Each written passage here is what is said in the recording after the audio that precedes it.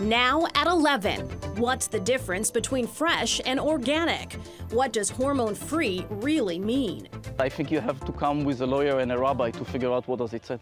Tonight, we take a walk on the wild side and find out what you should really be looking for when shopping for chicken. Well, when you head to the grocery store aisles, many of you face a dizzying sea of labels. Tonight, we help you navigate through them. Plus, we'll show you how you, the consumer, are having a major effect on the entire poultry business. Here's CBS 4 Chief Investigator Michele Gillen. We have seen uh, an explosion in the United States on wanting to know where our food comes from. And what's in it? Yeah, and absolutely what's in it. This is the chicken piccata. Do you know what's in your chicken? For many of you, it's your number one choice for dinner. Eight billion chickens are consumed in the U.S. every year. From supermarkets to kitchens, slaughterhouses to farms, our investigation begins here. In the world of poultry, it's a picture postcard setting. A small family farm in the heart of Davie. Here, Mati Katsir says it's all about what is not on the menu for his livestock and birds. No chemicals, no soy, no GMOs, and no antibiotics. Uh, like, uh, I call them out of control chicken. Out of control chicken. Here, free to roam means just that. Taking the sand baths, they are hanging in the sun. Of course they like me, I give them food. They dine when they're hungry, and most importantly, he says they're not fed or exposed to drugs making headlines antibiotics. When I think about antibiotics in the food production system, I think of an overuse that's happening. Minimalizing humans' exposure to the impact of antibiotics in our food, including chicken and eggs, is critical, says Susan Vaughn Grooters, a policy analyst for the coalition Keep Antibiotics Working. We're looking at a public health crisis. That's what the World Health Organization calls it.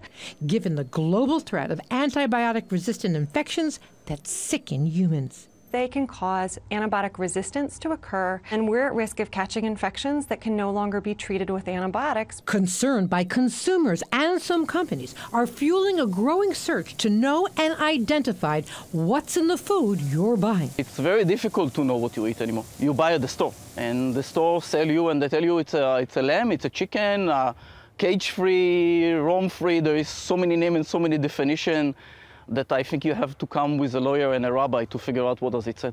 Or shop with Trish Sheldon. Labeling is extremely important. A labeling expert and advocate for transparency when it comes to what's in our food. She's co-leader for the campaign GMO Free Florida. We went shopping and had Trish walk us through a sea of labels. Her top choices look for products that carry multiple certifications.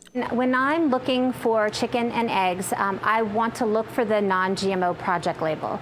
And that's because they have stringent research and uh, chemical testing that they do.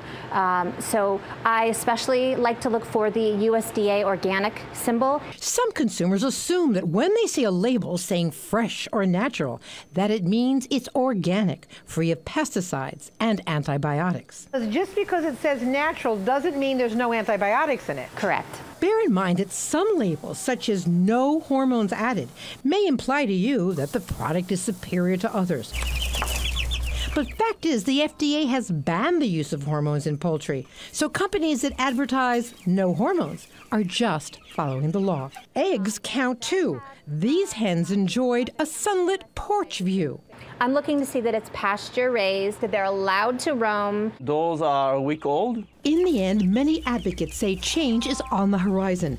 Supporters of minimalizing your exposure to antibiotics applaud decisions by major suppliers and food chains, including McDonald's, the world's largest restaurant chain, and its plan to limit antibiotics in chicken.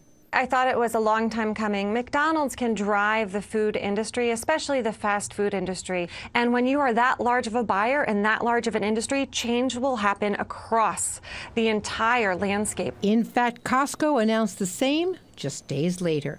Labeling advocates say consumers are driving change and industry is listening.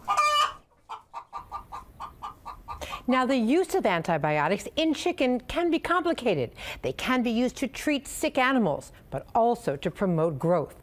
We reached out to the National Chicken Council, which shared this perspective. While antibiotics that are important to human medicine are minimally used when raising chickens, by December 2016, under FDA guidance, these antibiotics will be labeled for use in food animals only to prevent disease and treat sick birds. Also, we extend a thank you tonight to the Miami Culinary Institute and Miami Dade College, which allowed us into their kitchens. They've been at the forefront of supporting organic farming. Back to you. All right, Michele, thank you. Thank you, Michele. All right. So